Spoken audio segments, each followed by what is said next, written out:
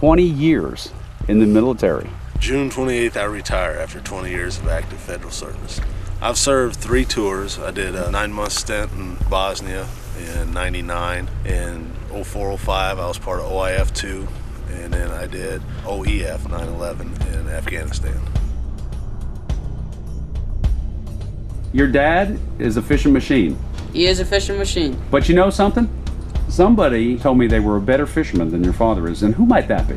Well, it had to be my little brother. Yeah, I'm better than my whole family, my dad, my brother, and my mom on Kentucky Lake. Man, it didn't take long, brother. Let me see, let me see, let me see. Holy cow. Holy cow. Look at that. Holy Think you wanted that? Holy cow. You're not getting off. You're not getting off. Come on now. Don't put no hook in it. That's what it makes. Man, There we go. man. My There we go. goodness gracious.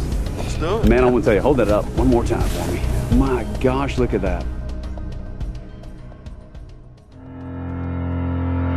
Well, it just gets a little.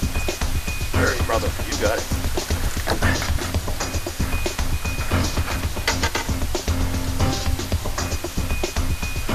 Staying at it, brother. Staying at it. Number four, Toby.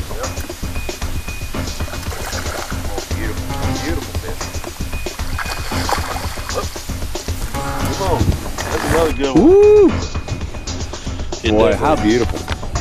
Smoked it, man. Toby Lillard, Woo, he made me grunt. the Look at machine. Look at that. Look at that. You throw a little bit uh, different type of stuff whenever you're trying to do some things with your, your rig.